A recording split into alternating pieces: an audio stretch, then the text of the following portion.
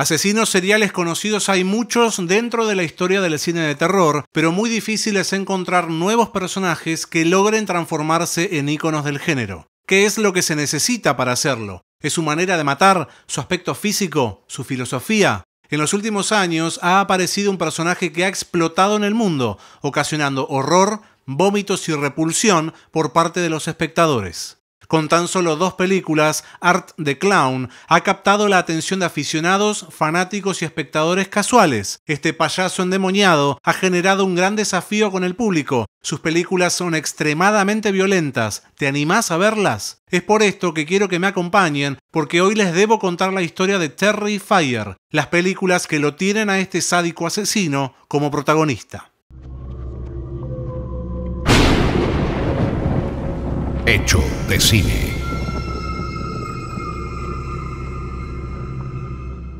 La génesis de un personaje clásico del cine de terror se debe en muchas oportunidades porque la creatividad de su creador logra llenar un vacío profundo en la industria y de esa manera calar hondo en los sentimientos de los espectadores. No todos los grandes asesinos de la historia del cine de horror han sido taquilleros, ni tampoco sus películas son buenas. En ocasiones los personajes son más recordados por su aspecto físico o por su manera de matar que por la historia que nos cuentan en sus películas. Son muy pocos los nuevos personajes que logran captar esta atención del público y convencer a la industria de seguir haciendo películas dentro de su mundo. El universo del conjuro ha logrado captar mucho ese sentido de capitalizar personajes secundarios alabados por el espectador en películas que expandieron sus historias. Anabel y la monja son dos claros ejemplos de esto. Cada película que se estrena con estos villanos en pantalla es un éxito impresionante de taquilla, sin importar la calidad de las películas en las que aparecen.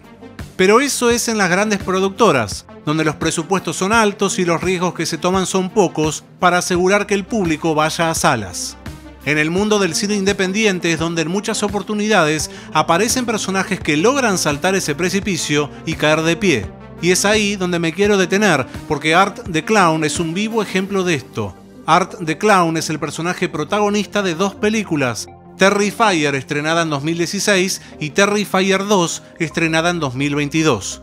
Es un payaso demoníaco que aparece en la noche de Halloween para matar personas. Lo interesante que posee es que es un personaje mudo, no emite sonido de disfrute ni tampoco de dolor, solo tiene en algunas oportunidades una bocina en su mano o un cuerno con los que genera algún tipo de ruido. Art actúa de maneras extrañas, secuestra, tortura, asesina y se baña en la sangre de sus víctimas con total divertimento. Esto ha generado mucha polémica porque sus películas son extremadamente violentas, no hay censura alguna en la manera de matar, todo es explícito.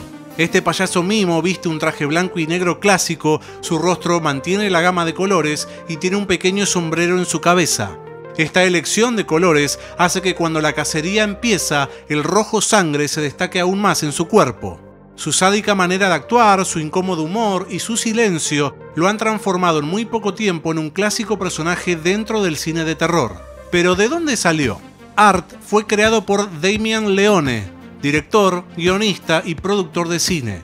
En una entrevista ha contado que un día empezó a buscar ideas para hacer un cortometraje, él quería llevar adelante una historia muy simple, en la que el público se sintiera incómodo viéndolo. Leone se imaginó una concreta situación, una mujer que sale de su trabajo y que toma el colectivo para regresar a su casa. En la siguiente parada se sube un payaso y se ubica frente a ella, mirándola fijo. Imaginó cómo ese payaso empezaba a burlarse de la mujer y cómo ella comenzaba a sentirse cada vez más incómoda. El payaso tenía que cumplir ese rol, ser una mezcla entre comedia e incomodidad que fuese aumentando hasta que la agresión explotara. Con esto como base, Damian Leone realizó un cortometraje llamado El Noveno Círculo, estrenado en 2008. El mismo nos presenta a una mujer llamada Casey, interpretada por Kayla Lian, quien es perseguida por un payaso en una estación de trenes vacía en Halloween. Ese payaso es Art the Clown, termina secuestrándola y sacrificándola en un ritual satánico. Luego, en 2011, Leone decidió realizar la segunda aparición de su sádico payaso en lo que llamó Terry Fire, otro cortometraje en el que en esta oportunidad acecha y atormenta a una joven que por casualidad fue testigo de uno de sus asesinatos en una estación de servicio. En estos dos cortometrajes, el payaso fue interpretado por Mike Gianelli. Leone tenía sus dos cortos, pero no una manera de estrenarlos masivamente, estaban publicados en YouTube. Un día recibió el director una llamada del productor Jesse Baguette con la propuesta de incorporar el segundo corto en una película que iba a juntar producciones del estilo de otros directores. A Leone eso no le gustó y le pidió permiso para hacer su propia producción. Los cortos eran producciones muy chicas, hechas con muy poco dinero, por lo tanto decidió realizar una película en la que pudiera incorporar esos dos trabajos. El film se llamó All Hallows Eve, se estrenó en 2013. El mismo es una producción de antología en la que nos presentan a dos niños y a su niñera que están viendo videos en VHS durante la noche de Halloween. Esos videos son precisamente los cortos antes mencionados.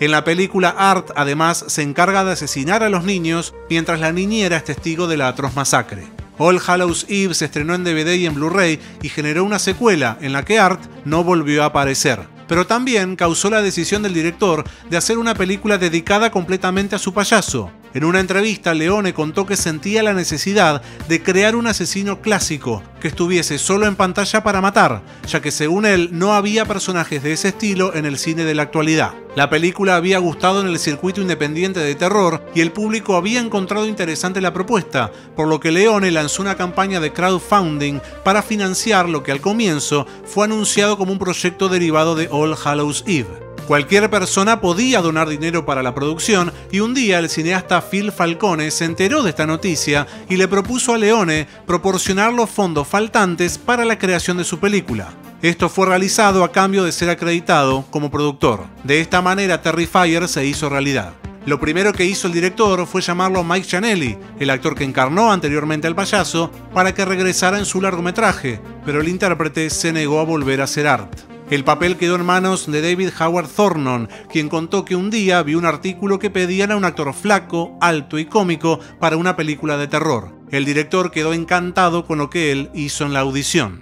Terrifier estrenó en 2016. Aquí vemos a Art que persigue a Tara Hayes, interpretada por Jenna Cannell, y a su hermana Victoria, encarnada por Samantha Scafidi. Durante una noche de Halloween, él mata a Cara y comienza la persecución para asesinar a Victoria. En el camino, por supuesto, Art hace de las suyas con todos los que se le cruzan por su camino. Terrifier se estrenó en el Festival de Cine de Telluride en 2016, empezando un lento pero fructífero camino por las salas independientes del mundo. El público estaba asqueado. Terrifier es una película fuerte, explícita, violenta y sangrienta.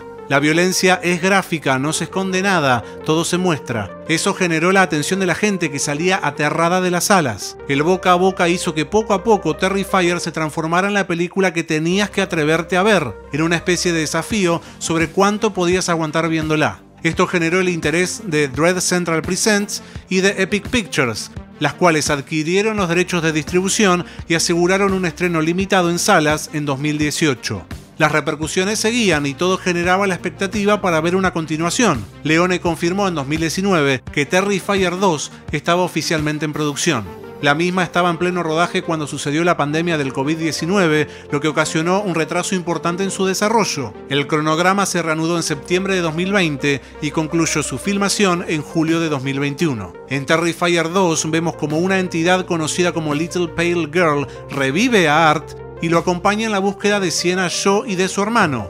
El padre de ambos era un artista que murió de un tumor cerebral e imaginó a Art siendo derrotado por su hija, vestida de ángel guerrero. Ambos personajes tienen un enfrentamiento a muerte.